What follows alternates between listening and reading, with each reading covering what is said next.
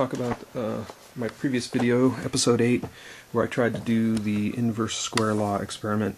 Um, I uh, wanted to redo that again more carefully because I realized um, there's other sources of energy in my in the room I was using. There's a fluorescent lights on the ceiling, and um, so my measurements may have been uh, funky. Um, so I was trying to do it again yesterday, and I, I quickly realized that um, what's going on with the measurements uh, when you when the distances start to get larger is um, um yes, you have a nice linear uh, relationship of uh, distance to one over the square root of power um, until some threshold, and then uh, that threshold we could call this like the near field and the far field, and it, once you cross into that far field area uh, the the uh, measurements that you get out here are really uh, subject to what's going on in the room. Um, if I was uh, standing between the plate and the um, and the uh, energy source, my body actually would provide better power transfer.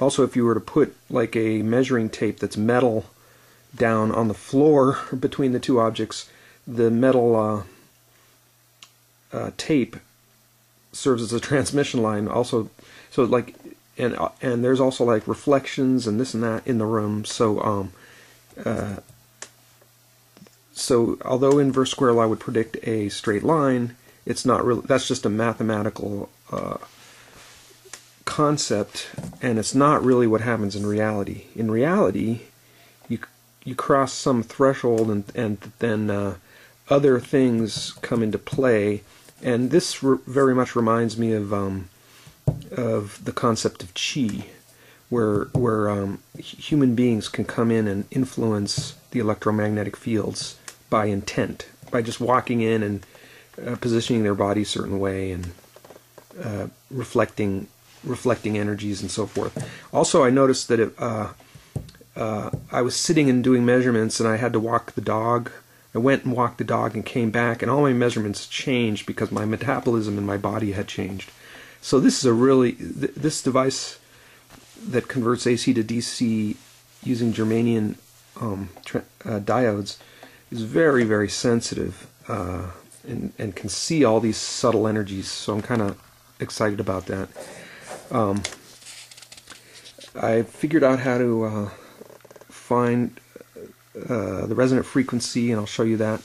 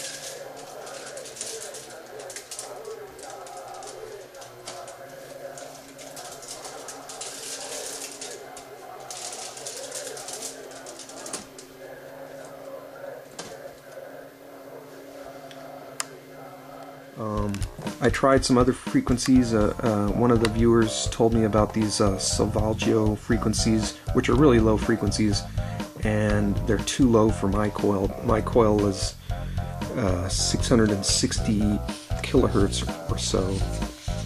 So I have a thought experiment for you guys. Um, here's the formula for wavelength. It's velocity over frequency, and and what wavelength is is you know um, the distance between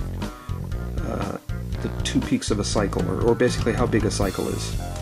Um, okay, so if the speed of light in copper is 95% of the speed of light in a vacuum, uh, here's the thought experiment. Um, if we have a cone-shaped coil, as the wave enters the base of that coil and starts proceeding down the coil, do we expect frequency to change or do we expect velocity to change as it approaches the apex?